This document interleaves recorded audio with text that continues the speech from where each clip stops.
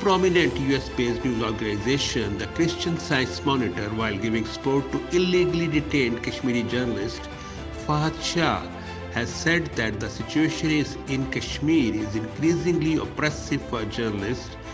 Fahad Shah, who has contributed to the Monitor from Kashmir for several years, was arrested by Kashmir authorities on February 4th and continues and still held in police custody. His lawyer said that fear of publishing stories from Mr. Shah's arrest means few people locally are aware of what is happening. Mr. Shah, who is the editor of the Kashmir Walla, had come under increasing pressure for his efforts to continue to report honestly and widely about Kashmiri life, including stories around politics and security.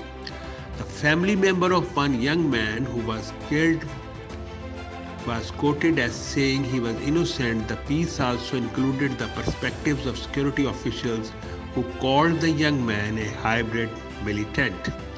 Mr. Shah's friends have worked to get access to him on a regular basis, offering support from everything from blankets to books. On the evening of February 26th, he was shifted to Iman Sahib police station, who is about 35 miles from the capital city of Srinagar.